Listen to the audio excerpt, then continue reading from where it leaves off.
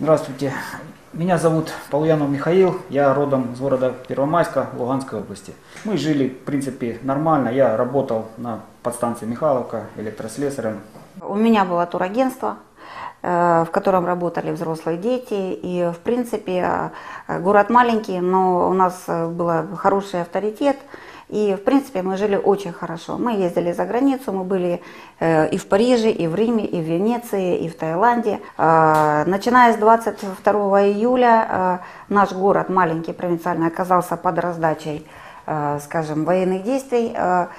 Представьте, нормальная жизнь, летний сезон, 6 утра, э, я провожаю людей э, на море, один автобус, у меня 50 человек стоит для того, чтобы уехать на Бердянск.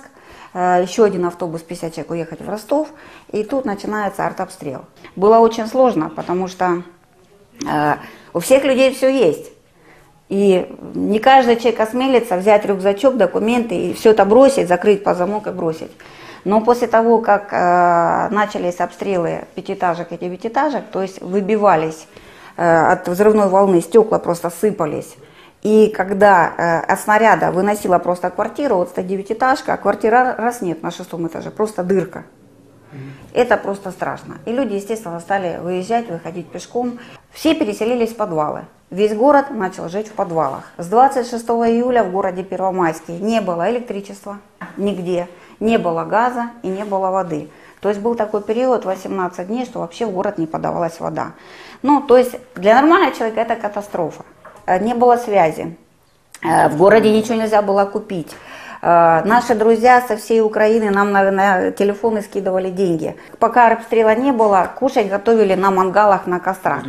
Я поняла, что я нормальный человек, ввиду того, что я была и в Риме, и в Париже, и в Венеции. Я думаю, почему я должна жить в подвале? Почему я должна идти по улице, слышать эти свист снарядов и падать под заборами? Мы пару раз так падали, но, слава богу, руку-ногу не оторвала. То есть я понимала, что человек может жить где угодно. Он должен просто принять решение. А, вот. я, поехала, я решила поехать к детям в Россию, посмотреть, как они там живут. А, ну, пока я уехала, моего мужа забрали в контрразведку в подвал. Пришлось мне срочно вернуться и... А, Ввиду того, как 10 суток я пыталась его из этого подвала контрразведки вытащить, и что, как он там находился, после этого мы принципиально поменяли решение и решили, что в этой стране мы жить не будем. Мы хотим поехать в ту страну, где люди более-менее защищены государством, законом.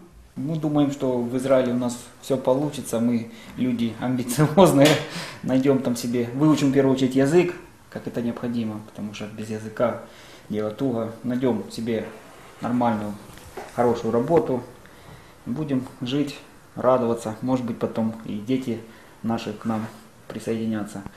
У нас, мы верим в то, что у нас все будет хорошо.